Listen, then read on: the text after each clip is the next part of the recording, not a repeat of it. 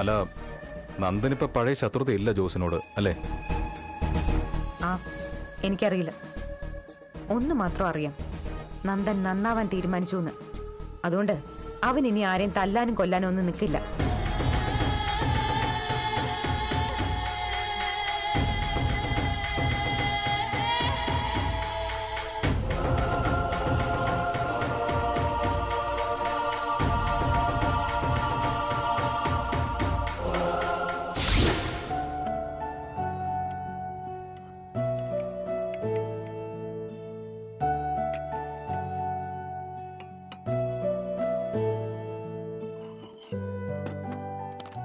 ശരത്ത് വന്നില്ലേ? ആഹാരം വേണ്ടാന്ന് പറഞ്ഞു. വിശപ്പില്ലാന്ന്. അതെന്തോ അങ്ങനെ? എന്തോ? എനിക്കറിയില്ല.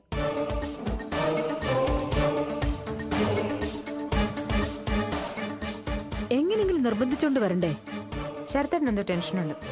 ജോസാർ വന്ന കാര്യം അമ്മ ശരത്തേട്ടനോട് പറയണ്ടായിരുന്നു. അതാ ഇപ്പൊ ശരത്തേട്ടന്റെ ടെൻഷൻ.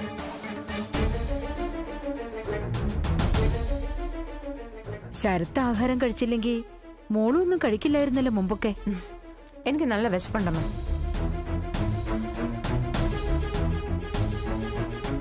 ജോസാർ വന്നത് അത്ര വലിയ തെറ്റാണോ? അച്ഛനെ കാണാൻ ആഗ്രഹം കാണും. അതുകൊണ്ടായിരിക്കും വന്ന്. മൂക്ക് നല്ല മാറ്റമുണ്ട്. എന്നും ഒരുപോലെ ഇരുന്നാ പറ്റില്ലല്ലോ. സാഹചര്യത്തിനനുസരിച്ച് മാറണ്ടേ?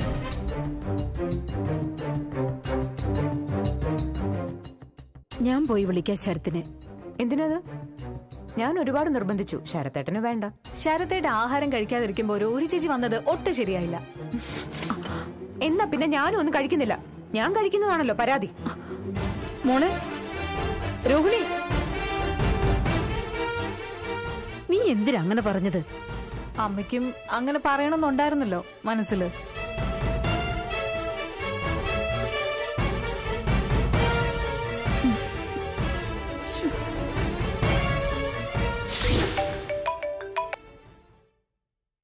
ഹലോ. ആ രോഹിണി. ഞാൻ വിളിച്ചത് വേറൊന്നിനു വേണ്ടിയല്ല സർ. മുമ്പ് പറഞ്ഞത് ഒന്നുകൂടി ഓർമ്മിപ്പിക്കാനാ. നന്ദൻ ഇനി സാറിനെ കാണാൻ അങ്ങോട്ട് വരും. സാർ അങ്ങോട്ടും പോവും. ആ നേരത്തൊന്നും ശരത്തിനെ കുറിച്ചുള്ള ഒരു വാക്കും അവനോട് പറയരുത്. ഞങ്ങൾ വേണ്ട വിധത്തിൽ അവനെ കൈകാര്യം ചെയ്തോണ്ടിരിക്കുക ലച്ചുമോക്ക് നെക്ലസ് ലീന ടീച്ചറുടെ കാറ്. അങ്ങനെ അവന്റെ ബാങ്ക് ബാലൻസ് കാലിയായിക്കൊണ്ടിരിക്കുക അറിയാലോ. തലച്ചോറുള്ളവനാണെന്ന്. സൂക്ഷിച്ചു മുന്നോട്ട് പോണം. എല്ലാം നാടകമാണെന്നറിഞ്ഞ നരനേക്കാൾ അപകടകാരിയാ. എല്ലാം അറിയാം സർ. നടന്നതൊക്കെ പറഞ്ഞ് നന്ദനെ ഒരു കൊലയാളിയാക്കാതിരുന്നാൽ മാത്രം മതി. ഇവിടെ ഞങ്ങൾ സൂക്ഷിച്ച് മുന്നോട്ട് പൊയ്ക്കോളാം.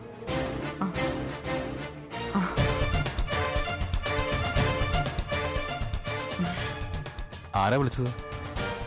ഒരു ഫ്രണ്ടാ പഴയ സുഹൃത്താ. വെറുതെ വിളിച്ചതാ?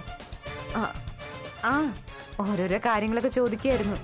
അല്ല ഈ രാത്രിയിൽ എന്താ വിളിച്ചത്? അയാളുടെ മോനെ എന്റെ സ്റ്റുഡന്റാ. പഠിത്തത്തിൽ ഒരു ഇത്തിരി വീക്കാ. അതേപ്പറ്റി സംസാരിക്കുകയായിരുന്നു ഓ അല്ല ഈ ഫൗണ്ടേഷൻ കിട്ടിക്കഴിഞ്ഞാലേ ലോൺ എടുക്കണം. നമ്മുടെ രണ്ടാളുടെ പേരിൽ. അതിനു മുൻപ് എന്റെ ഓർണമെന്റ്സ് എല്ലാം വിൽക്കണം. എന്റെ അക്കൗണ്ടിലുള്ള ക്യാഷ് ശരത്തേടിന്റെ അക്കൗണ്ടിലോട്ട് മാറ്റണം. എന്തായാലും പണി തുടങ്ങാൻ ഒരു മാസത്തിൽ കഴിയും. സമയമുണ്ട്. അതിനു മുൻപ് എനിക്കൊരാഗ്രഹമുണ്ട്. ലീന ടീച്ചർ ഒരു കാർ എടുത്തു. അവർ ഡ്രൈവ് ചെയ്ത് വരുന്നത് കണ്ടപ്പോ എനിക്ക് ഒരു കൊതി. നല്ലൊരു കാറ് വേണമെന്ന് ഇങ്ങനെയുള്ള കോമ്പറ്റീഷൻ ഒന്നും തനിക്ക് ഇല്ലാതിരുന്നതാണല്ലോ. പക്ഷേ ഇപ്പൊ ഉണ്ടായി. അത് അവളുണ്ടാക്കിയത് തന്നെയാ. എന്ന് വെച്ചാ നമ്മളെ തമ്മിൽ രണ്ടാക്കാൻ നോക്കിയതിനു ശേഷം എനിക്ക് അവളോട് കലിയ. അതുകൊണ്ടാ ഇങ്ങനെ ഒരു മത്സരബുദ്ധി ഉണ്ടായത്. അല്ല എന്റെ ബാങ്ക് ബാലൻസ് ഒക്കെ തീർന്നുകൊണ്ടിരിക്കുക അതെന്താ അങ്ങനെ? പിന്നെ ഞാൻ ഒരു രൂപ പോലും മുടക്കണ്ട. ശരത്തേട്ടൻ തന്നെ വീട് വെക്കാന്ന് മുമ്പ് പറഞ്ഞതോ? അല്ല അതിനു വേണ്ടി കരുതി വെച്ചിരിക്കുന്ന പണമാണ്. അതിന് പണം ഞാൻ തരുമല്ലോ ഒരു രൂപ പോലും ശരത്തേട്ടൻ മുടക്കണ്ട. ആ ശരി ശരി. ഒരു ചെറിയ കാറ് പോരെ. കാറ് വാങ്ങുമ്പോ വലുതൊന്നും തന്നെ ആയിക്കോട്ടെ. എല്ലാ സൗകര്യങ്ങളും ഉള്ളത്. ആ.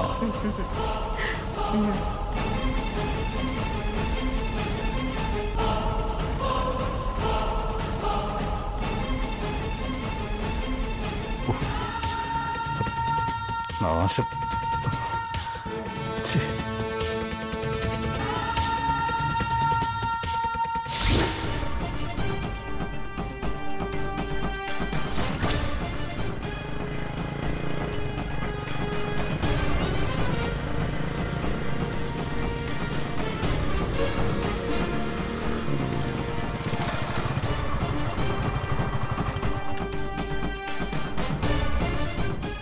ഞാൻ വീട്ടിലോട്ട് കയറണമെന്ന് കരുതിയതാ. പിന്നെ പറയാൻ പോകുന്ന കാര്യം അമ്മച്ചി കേൾക്കുന്നത് ശരിയല്ലാന്ന് തോന്നിയോണ്ട് അങ്ങോട്ട് കയറിയില്ല നന്ദൻ പറയാൻ പോകുന്ന കാര്യം എന്താണെന്ന് എനിക്ക് ഊഹിക്കാം. ശരത്തിനെയും രോഹിണിയും കുറിച്ചല്ലേ താൻ സംസാരിക്കാൻ വന്നത്? സാറിന് കാര്യം പിടികിട്ടി. ഞാനിപ്പോ പഴയതിനേക്കാൾ കൂടുതൽ സാറിനെ സ്നേഹിക്കുന്നുണ്ട് വിശ്വസിക്കുന്നുണ്ട്.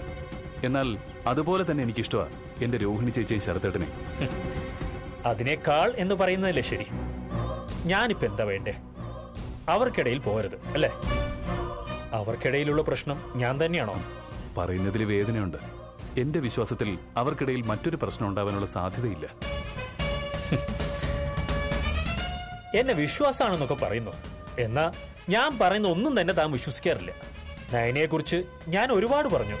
അന്ന് താൻ കാണിച്ച അവഗണനയും പുച്ഛവും ഒക്കെയാണ് ഇന്ന് താനും തന്റെ കുടുംബം അനുഭവിക്കുന്ന കണ്ണീരിന്റെ ഒക്കെ ആധാരം.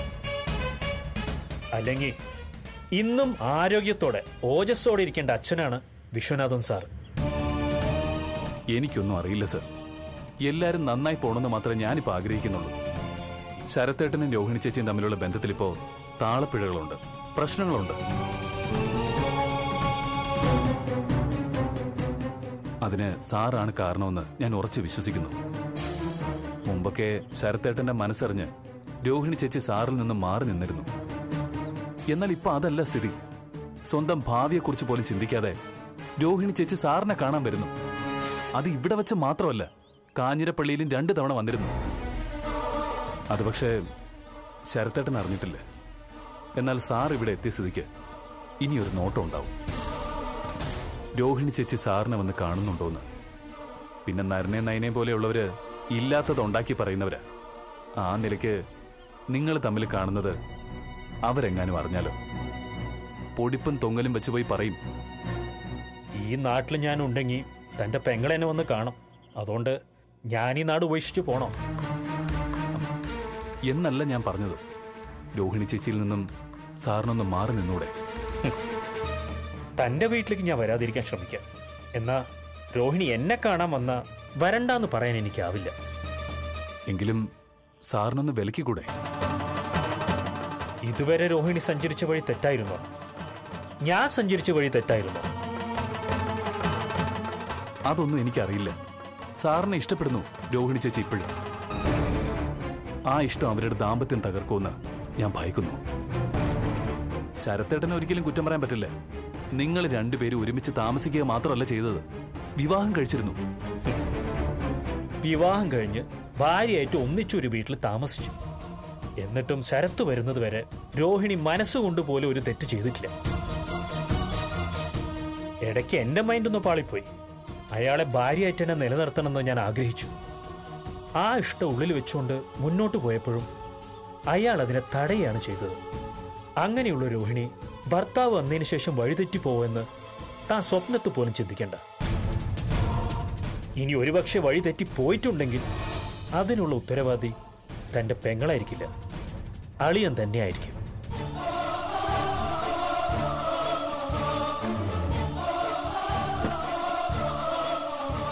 പരമാവധി ഞാൻ അകന്നു തന്നെ നിൽക്കാം. രോഹിണിയെ കാണാതിരിക്കാനും ശ്രമിക്കാം. എന്ന് കരുതി രോഹിണിയുടെ ദാമ്പത്യം ഒന്നും മെച്ചപ്പെടാൻ പോകുന്നില്ല കേട്ടോ.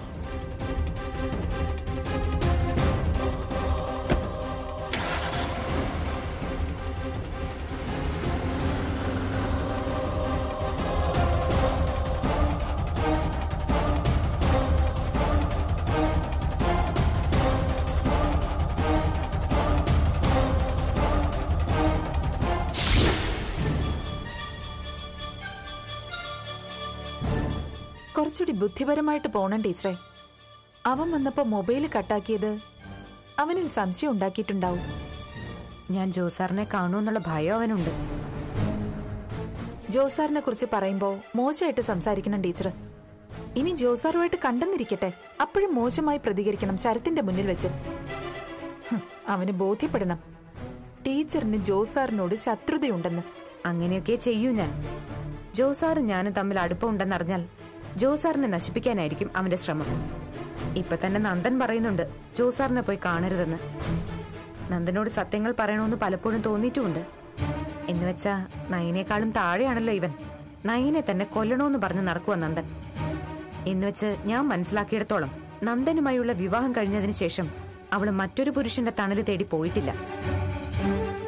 ആ രീതിയിൽ നന്ദനെ അവൾ വഞ്ചിച്ചിട്ടുമില്ല. ആ നിലയ്ക്ക് എല്ലാ നാട്ടിലും പെണ്ണുകെട്ടി നടക്കുന്ന ഒരുത്തനാണ് സ്വന്തം അളിയനെന്ന് അറിഞ്ഞാലോ വെട്ടി കണ്ടിക്കില്ലേ അവൻ? അങ്ങനെ അവനെ കൊലയാളിയാക്കാൻ വയ്യ ടീച്ചറെ. നമ്മൾ ഇപ്പൊ പോകുന്ന രീതിയിൽ തന്നെ പോയാ മതി. നമ്മൾ ആരെയും കൂട്ടുപിടിക്കണ്ട. അവൻ ചെയ്ത ചതി മനസ്സിൽ കിടക്കുന്നതുകൊണ്ട് മനക്കെട്ടി ഉണ്ട് നമുക്ക്. ആ മനക്കെട്ടി മതി നമുക്ക് ജയിക്കാം. അത് തന്നെ എന്റെ തീരുമാനം. പെണ്ണിന്റെ കരുത്ത് അവനെ അറിയിച്ചു കൊടുക്കുക. ശരത് എന്ന മരുമകൻ ഞങ്ങൾ മക്കളെക്കാൾ മേലെയാണെന്നാ എന്റെ അച്ഛന്റെ അമ്മയുടെ വിചാരം. അവരൊക്കെ എന്തായാലും അറിയും. അവരുടെ സങ്കല്പത്തിനൊക്കെ എത്രയോ അകലെയാണ് അയാളെന്ന് ഞാൻ പറഞ്ഞല്ലോ. ആ നിമിഷമാണ് എന്റെ ജീവിതത്തിലെ മരണം. പിന്നെ എനിക്ക് എന്ത് സംഭവിക്കുമെന്ന് പറയാൻ പറ്റില്ല. സഹിക്കാൻ പറ്റില്ല ടീച്ചറെ ആ രംഗങ്ങളൊക്കെ. രോഗത്തിൽ നിന്ന് മുക്തനായി വരുന്ന അച്ഛൻ. എന്നിട്ട് അച്ഛനൊന്ന് പുറത്തേക്ക് ഇറങ്ങുമ്പോഴായിരിക്കും ഇതൊക്കെ അറിയുന്നത്. ആ നിമിഷത്തെ പറ്റി ആലോചിക്കാനേ വയ്യ ടീച്ചറെ. ഇത്രയും സാധുവായ ഒരു അച്ഛനെ ലോകത്ത് ആർക്കും കിട്ടില്ല. കല്യാണം കഴിഞ്ഞ ശേഷം ശരത്തേട്ടനെ കാണാതായപ്പോ പലപ്പോഴും അരികിൽ വന്നിരുന്ന് സമാധാനിപ്പിക്കുന്ന അച്ഛന്റെ മുഖവും ആ സംസാരമൊക്കെ ഇന്നലെ എന്നോണം എന്റെ മനസ്സിലുണ്ട്. ഒരിക്കൽ അമ്മയോട് പറയുന്നത് ഞാൻ കേട്ടിട്ടുണ്ട്. പത്ത് മുപ്പത് കൊല്ലം ആവാറായില്ലേ നമ്മുടെ കല്യാണം കഴിഞ്ഞിട്ട്? നമ്മളിപ്പോഴും ദാമ്പത്യ ജീവിതം നയിക്കുന്നു. നമ്മുടെ മോളെ കഷ്ടിച്ച ഒരു കൊല്ലം പറഞ്ഞിട്ട് എന്റെ അച്ഛൻ കരയായിരുന്നു. ആ അച്ഛന് ഈ തളർച്ചയിലൊരു ഉന്മേഷം കിട്ടിയത് അവന്റെ വരവോടെയാ. മകൾക്ക് ഭർത്താവിനെ തിരിച്ചു കിട്ടി. അവർ ദാമ്പത്യ ജീവിതം തുടങ്ങി. ലച്ചുമോളിനെ അച്ഛൻ എവിടെയാന്ന് അന്വേഷിക്കില്ല. ആ നേരത്ത് അവൻ ആ നായ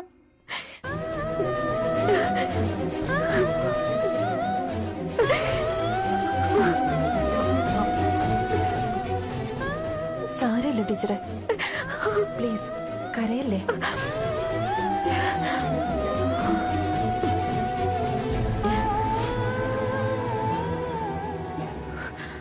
അവനെ വലിച്ചു കീറാൻ എത്ര താഴേക്ക് പോവാനും ഞാൻ തയ്യാറാ. ഒരു ജീവിതമല്ല. ഒരുപാട് ജീവിതങ്ങൾ അവൻ ഇല്ലാതാക്കിയത്.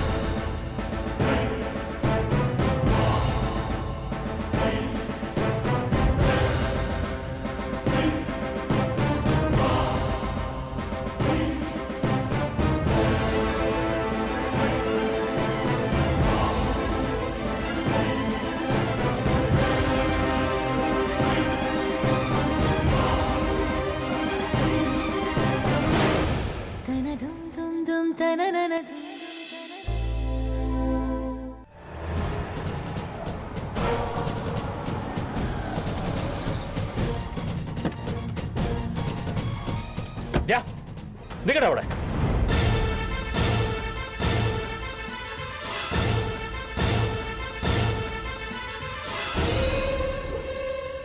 അന്ന് ശത്രുക്കളായിരുന്നവരൊക്കെ ഇന്ന് മിത്രങ്ങളാണ് നിന്നെ ഒരുപാട് ഇഷ്ടമായതുകൊണ്ട് രോഹിണി ഇപ്പോഴും എന്നെ വിശ്വസിക്കുന്നില്ല. എന്നാ നന്ദനോട് സത്യം പറയാന്ന് വെച്ചാ എല്ലാം കേട്ടതിന് ശേഷം അവൻ നിന്നെ കൊല്ലും. അതുകൊണ്ട് സകലത് ഉള്ളിൽ വെച്ച് നടക്കുക ഞാൻ രണ്ട് വിവാഹം കഴിച്ചിട്ടുണ്ട്. അതിന്റെ സാഹചര്യം ഞാൻ രോഹിണിയോട് പറഞ്ഞിട്ടില്ല. അയാളുടെ മനസ്സിൽ ഇന്നും ഞാൻ മാത്രമാണ് അയാളുടെ ഭർത്താവ്. എന്നാൽ ലീനോട് ഞാൻ നടന്ന കഥകളൊക്കെ പറഞ്ഞു. അയാൾ എന്നോട് ക്ഷമിക്കുകയും ചെയ്തു. നീ എന്ത് കഥകളാ ലീന ടീച്ചറോട് പറഞ്ഞത്? പറയേ. അതിനപ്പുറം കഥകൾ എനിക്കറിയാം. Sir please. എല്ലാ മോശ സ്വഭാവങ്ങളും ഉപേക്ഷിച്ച് നന്മയുടെ പാതയിലാണ് ഞാൻ. അവർ രണ്ടാളെ ഒരുപോലെ സ്നേഹിക്കുക അതിന് നിനക്ക് കഴിയോ ഏ അവരുടെ ഏഴ് അയലത്ത് പോലും നിനക്ക് എത്താൻ കഴിയില്ല. ഏതോ ഒരു കുഗ്രാമത്തിൽ ജനിച്ച നീ അല്പം സൗന്ദര്യം സംസാരിക്കാനുള്ള കഴിവ് മുതലെടുത്ത് കുടുംബത്തിൽ പിറന്ന പെണ്ണുങ്ങളെ വശീകരിച്ചെടുത്ത ശേഷം വഞ്ചിക്കായിരുന്നു നീ അവരെ. അല്ലടാ. ഇനി നിന്റെ യഥാർത്ഥ കഥകൾ അറിഞ്ഞ ഒരാൾ ഇവിടെ ഉണ്ടെന്നുള്ള ചിന്ത വെച്ച് വേണം മുന്നോട്ട് പോവാൻ. കാര്യങ്ങൾ ഇനി നിനക്ക് സുഖകരമായിരിക്കില്ല. എവിടെയും തടസ്സമായിട്ട് ഞാനുണ്ടാവും. ഞാൻ പറഞ്ഞല്ലോ സർ. എല്ലാത്തിൽ നിന്നും മുക്തി നേടാനുള്ള ശ്രമത്തിലാണ് ഞാനിപ്പോ. വേണ്ടടാ. നിന്റെ പല മുഖങ്ങളിലൊന്നും എന്റെ അടുത്ത് കാട്ടണ്ട. ഏത് നിമിഷവും കഴുത്തിൽ കുരുക്കു വീഴുന്നുള്ള ചിന്തയോടെ വേണം മുന്നോട്ട് പോവാൻ. ലച്ചു എന്നൊരു മോളില്ലടാ നിനക്ക് ഏ? അതുപോലെ എത്ര കുട്ടികളുണ്ടടാ? കേരളത്തിൽ അങ്ങോളം ഇങ്ങോളം ഏ? പോയിക്കോ നീ. ഇനി ഇവിടെ നിന്നാലേ നിന്റെ നെഞ്ചു നോക്കി താങ്ങിത്തരും ഞാൻ നെഞ്ചു വാട്ടിവിടും. പോടാ. പോടാ പോടാ.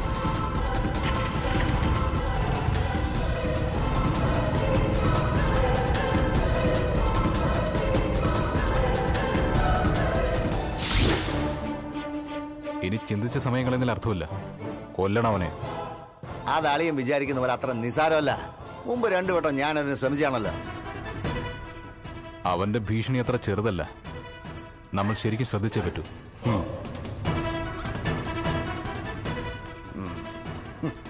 അളിയൻ പ്രാണവേദനയായിട്ട് നടക്കുക അല്ലേ? അത് പിന്നെ അങ്ങനെയല്ലയോ? എല്ലാം കയ്യിൽ വരാൻ പോകുന്ന സമയത്ത് ആ കാലന്റെ വരവ്. അളിയന്റെ കള്ളത്തരങ്ങൾ രോഹിണി തിരിച്ചറിഞ്ഞ? അവൾ വീണ്ടും അങ്ങോട്ട് ചായുവോ? അതിനുള്ള സാധ്യത ഒരുപാടാ. അതെന്നെ പോലെ തന്നെ തനിക്കും തന്റെ പെങ്ങൾക്കും പ്രശ്നമാണ്. അതുകൊണ്ടാ കൊല്ലാൻ പറഞ്ഞത്. ഒരാളെ കൊല്ലാൻ എളുപ്പമാ. അതിനുള്ള മനസ്സുണ്ടെങ്കിൽ അങ്ങനെ തീരുമാനിച്ചാൽ. ഇനി ചിന്തിച്ച് സമയം കളയുന്നില്ലളിയാ കൊല്ലാൻ തന്നെ എന്റെ തീരുമാനം. അവൻ മരിച്ചു കഴിഞ്ഞ പോലീസിന്റെ അന്വേഷണം എന്റെ നേർക്ക് വരും. എന്ത് അന്വേഷണം വന്നാലും നല്ലൊരു അഡ്വക്കേറ്റിനെ വെച്ച് പണം മുടക്കുന്ന കാര്യം ഞാൻ ഏറ്റു. പിന്നിൽ നിന്ന് ഞാൻ കളിച്ചോളാം. ഒന്ന് തള്ളിയാ മതി അവനെ.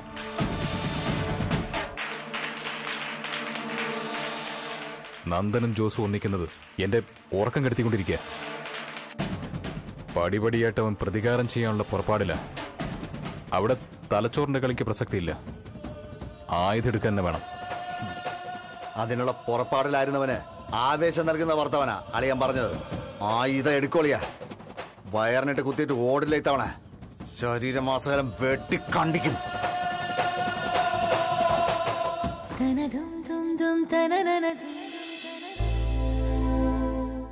വയറിനിട്ട് കുത്തിയിട്ട് ഓടില്ല ഇത്തവണ. ശരീരമാസകലം വെട്ടിക്കണ്ടിക്കും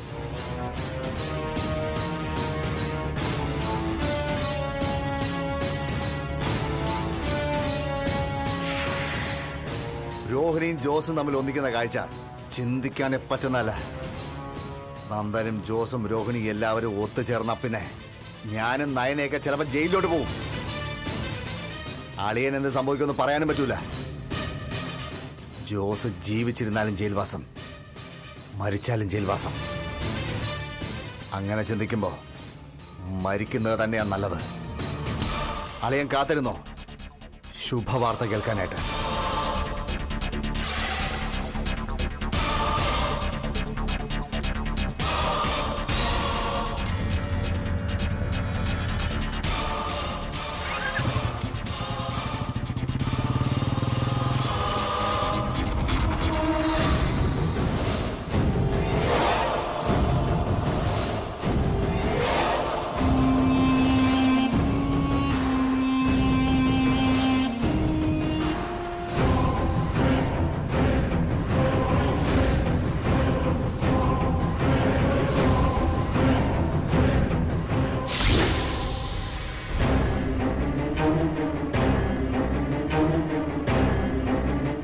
ആ എങ്ങോട്ടാ?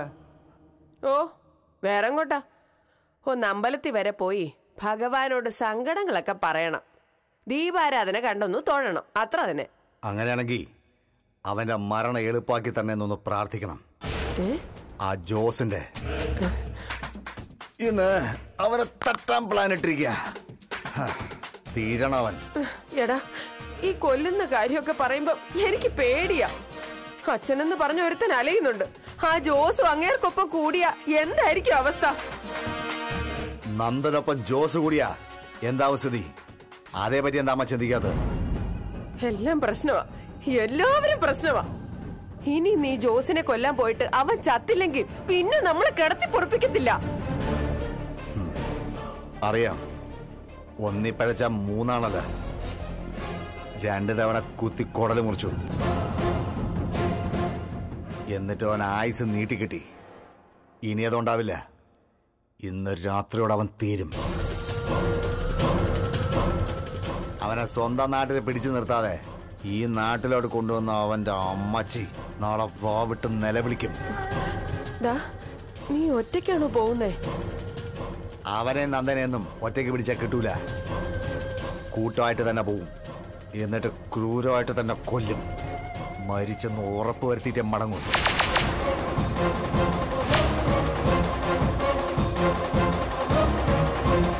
ആരാണ് ശരിയെന്നും ആരാണ് തെറ്റെന്നും എനിക്കിപ്പോഴറിയാം. അത് നീ എനിക്ക് പറഞ്ഞ് മനസ്സിലാക്കി തരേണ്ട കാര്യമൊന്നുമില്ല. അവൻ ജീവിച്ചിരുന്ന നഷ്ടം മാത്രമേ ഉള്ളൂ. കൊന്ന എല്ലാ അർത്ഥത്തിലും ലാഭ